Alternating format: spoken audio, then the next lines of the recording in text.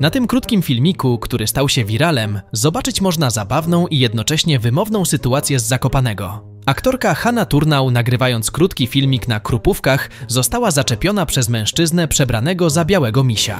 Cześć, nazywam Halo, się... to nie ma tak, chcecie to sobie zapłacić 20 zł i foto nie ma sprawy. Ale my tu nagrywamy... Obojętnie czy nagrywasz, czy cokolwiek, to jest, to, to my tutaj stoimy, chcesz z nami, proszę bardzo, zapłać nam. Zakopane to jest bardzo sympatyczne miasto. Filmik z 1 marca stał się natychmiastowym hitem w sieci, a dzień później pojawiły się informacje o zatrzymaniu mężczyzny z filmu. Filmiki z tego incydentu mają w mediach społecznościowych kilka milionów odsłon. Dziś mężczyznę, który stoi na krupówkach w przebraniu misia i domaga się zapłaty od turystów, zatrzymali strażnicy miejscy. Został ukarany mandatem za prowadzenie nielegalnej działalności. Warto tutaj dodać, że taka działalność jest na deptaku możliwa, ale wcześniej należy złożyć do burmistrza oficjalny wniosek w tej sprawie. Ten miś tej zgody nie miał i otrzymał mandat.